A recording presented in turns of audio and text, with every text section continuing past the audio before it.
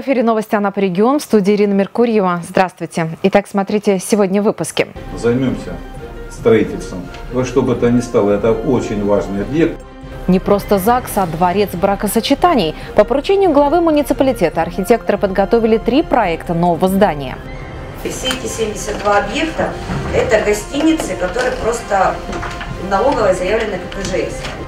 Налоговые каникулы. Депутаты муниципального совета сегодня приняли решение снизить ставки по налогу на имущество физических лиц. Этот э, предмет сохранился идеально. Он вырезан из камня серпентинита. Навершие булавы, сделанное 4000 лет назад, в Анапский археологический музей Гаргипе передали ценный экспонат. И начнем с главного. Завтра президент России проведет в Анапе заключительное в этом году совещание по военной тематике. Об этом сообщило агентство «Интерфакс» со ссылкой на пресс-секретаря главы государства.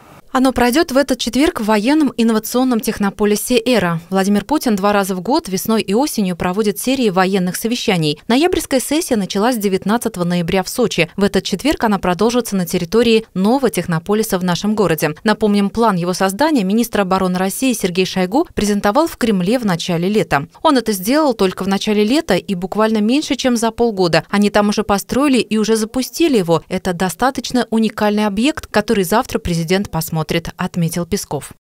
И к другим темам. Депутаты муниципального совета сегодня приняли решение снизить ставки по налогу на имущество физических лиц. Это связано с тем, что кадастровая стоимость, от которой сегодня рассчитывается платеж, резко выросла, в отдельных случаях в десятки раз.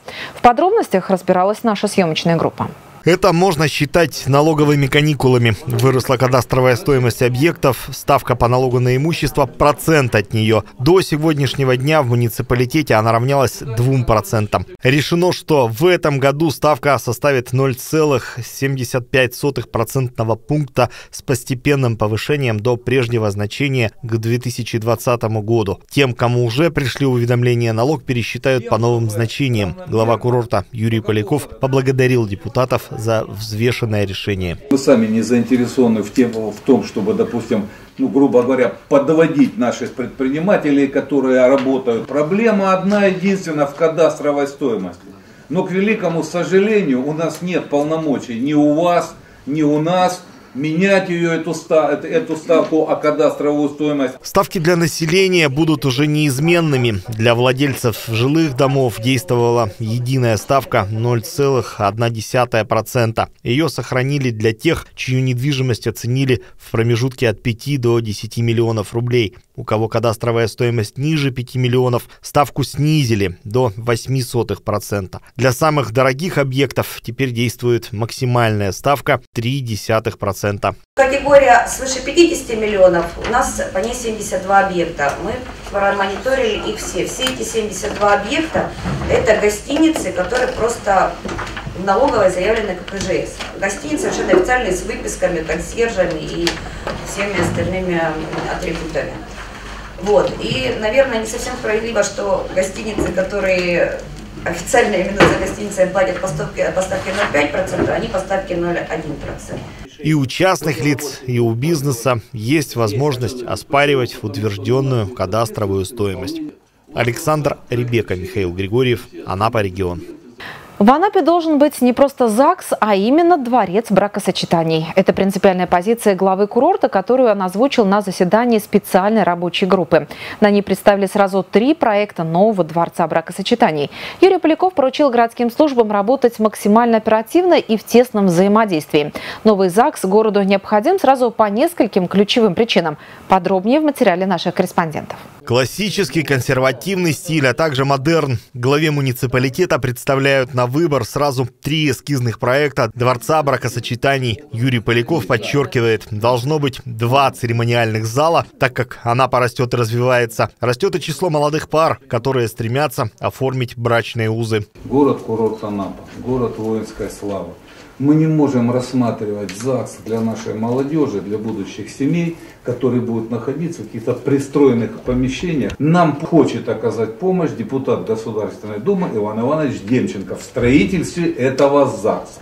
Займемся строительством. Во что бы то ни стало, это очень важный объект, который должен быть в нашем городе, дворец бракосочетания. Сегодня ЗАГС находится на втором этаже здания на улице Объездной. Как поясняют его сотрудники, с этим связан ряд неудобств. Соседство с различными магазинами не добавляет в момент торжественности. Парковка не приспособлена для приема свадебных кортежей. Ждем, ждем. Хотелось бы а, территорию красивую, с лавочками, со скамеечками, куда люди могли бы и после регистрации брака выйти, присесть, сфотографироваться красиво, потому что у нас условий здесь, сами видите, нет никаких. А, плюс а, те люди, которые вышли, допустим, после приема в обеденный перерыв, тоже им необходимо выйти и в обеденный перерыв переждать где-то. Здесь будет здание нового дворца бракосочетаний. Предусмотрены места под большую стоянку для автомобилей, а также зоны отдыха. Буквально в двух шагах сразу несколько достопримечательностей. Набережная, Ореховая роща. Там можно сделать первые свадебные фото. Уже в ближайшее время на участок выйдут специалисты, чтобы готовить его к началу строительных работ. Тем временем анапчане смогут выбрать один из трех проектов. Голосование будет проводиться в социальных сетях, а также на официальном сайте города-курорта. Александр Ребека, Михаил Григорьев, Анапа регион.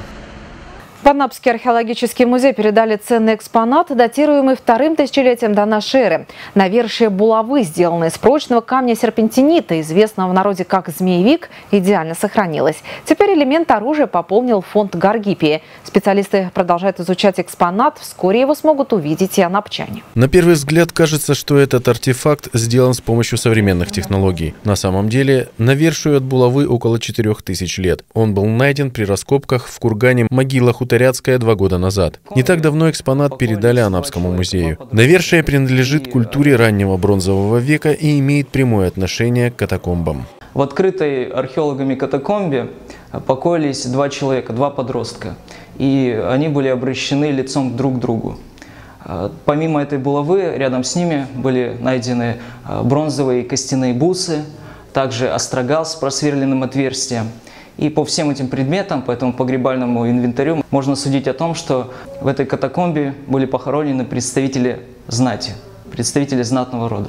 Этот э, предмет сохранился идеально, он вырезан из камня серпентинита, иногда называют этот камень змеевик – в центре просверлено сквозное отверстие для того, чтобы это навершие надевать на деревянную рукоять. Сейчас научные сотрудники продолжают изучение навершия. Совсем скоро экспонат смогут увидеть жители и гости города-курорта. В музее Гаргипия есть целый стенд, посвященный культуре бронзовой эпохи. Это элементы орудий труда, античные булавки, инструменты и древние идолы. Археологический музей продолжает проводить экскурсии и приглашает посетителей не только в курортный сезон, но и в зимнее время. В Гаргипии подготовили ряд мероприятий, посвященных посвященных известным людям и всероссийским праздникам. Вся наша страна в России последнее воскресенье отмечается День матери. И мы подготовили цикл мероприятий, посвященных этому событию. В преддверии Дня матери 23 ноября э, на набережной 4 в археологическом заповеднике Гаргипия состоится такая тематическая лекция, которая называется «Материнство не виновата, но ответственно. А, здесь заслуженный работник культуры Зоя Николаевна Лемякина расскажет о судьбе матери Марии, нашей землячки, известной Елизаветы Юрьевны Кузьминой-Караваевой. В эту субботу в музее состоится семейный мастер-класс «Нескучный музей». Профессиональная художница научит гостей создавать эксклюзивные открытки в технике флоротипии. Никита Бойко, Ксения Сипко, Руслан Душевский, Анапа регион.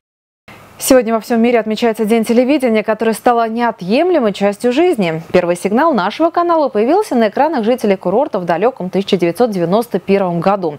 За это время сменилось не одно поколение зрителей, но одно остается неизменным. Анапчане хотят знать о событиях города, а самая оперативная, актуальная, достоверная полезная информация все эти годы в программе новости и других проектах нашей телерадиокомпании. В настоящее время она по региону – это единственный городской телеканал, который выпускает ежедневную новостную программу в течение всей рабочей недели. ТРК размещает свой информационный продукт в эфире сетевого партнера популярного канала РЕН в 19 часов с повторами в 7 утра и в 12.30. С августа 2016 года на 61-м канале НТВ+. Наши новости может увидеть вся страна. Наша телекомпания – это команда единомышленников. Ежедневно журналисты готовят материалы по различным социально значимым темам – политика, экономика, культура, культура и спорт, образование, туризм. Но каждый материал в эфире, каждый проект – это в первую очередь сами анапчане, которые создают историю нашего города. Телерадиокомпания предлагает и услуги по производству и размещению рекламы на телевидении, радио, в интернете и продвижению товаров и услуг на рынке Краснодарского края и России. Самые актуальные предложения для вашего бизнеса можно узнать по телефону отдела продаж 27 207. Далее информация о партнере программы. Тренажерный клуб «Витязь» предлагает привести в порядок фигуру по специальным сниженным ценам. Не упустите возможность. Все выпуски новостей вы всегда можете найти на нашем сайте anaprigion.ru. Я с вами прощаюсь. До встречи. Тренажерный зал «Витязь». Все виды тренажеров. Отдельный кардиозал, женский зал, вертикальный солярий и инфракрасная сауна, школа бокса и, конечно, настоящая спортивная атмосфера. Абонемент на месяц занятий всего полторы тысячи рублей. «Витязь», Анапа, Самбурова, 254. Мы делаем спорт доступным. Государственная инспекция безопасности дорожного движения предупреждает водителей. Проявляйте особую осторожность в местах, прилегающих к детским и образовательным учреждениям. Не подвергайте опасности самое дорогое.